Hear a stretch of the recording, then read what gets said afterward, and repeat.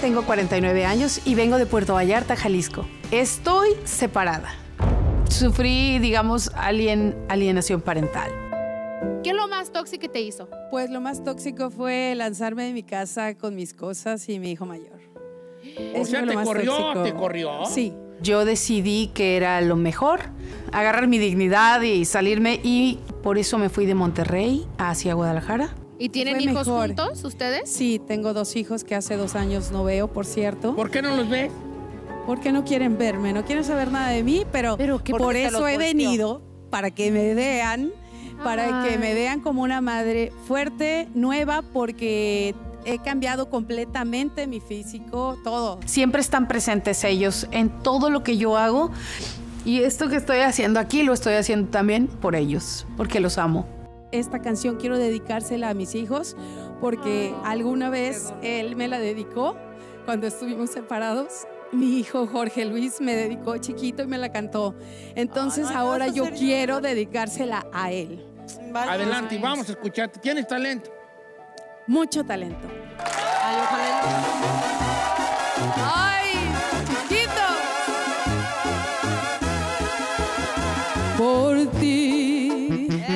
Mi orgullo se ahogó en una botella.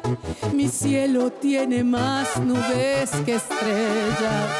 Y haberte conocido ha sido la peor de mis tragedias.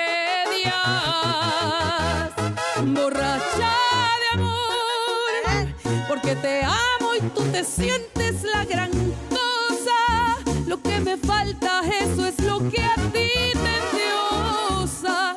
yo que solo tengo de oro este loco corazón que me emborracha de amor.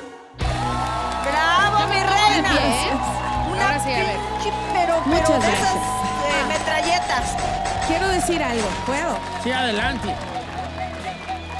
Quiero felicitarte, Ana. Ay, mi amor. Yo no sé si tú te acuerdas de mí. Yo te vi nacer en el 92. Te voy a recordar una anécdota. A ver. Cuando Macedonia te pidió que te cambiaras el nombre de Bárbara. ¿Recuerdas? Y en, en mi habitación quitaron. estábamos juntas No. y dijiste, tengo que cambiarme el nombre, amiga, ¿Tú eres? para mañana. Soy yo, amiga. Entonces, ¡Wow! ¡Qué fuerte! como tu carro, un Z24 rojo que habías Íbamos comprado tú, con tus primeros, así es, que nos íbamos oyendo a John Secada por la Avenida Reforma como locas y tú cantabas a toda la voz y tantas cosas, amiga. Te quiero felicitar porque eres grande como mujer y eres grande como artista.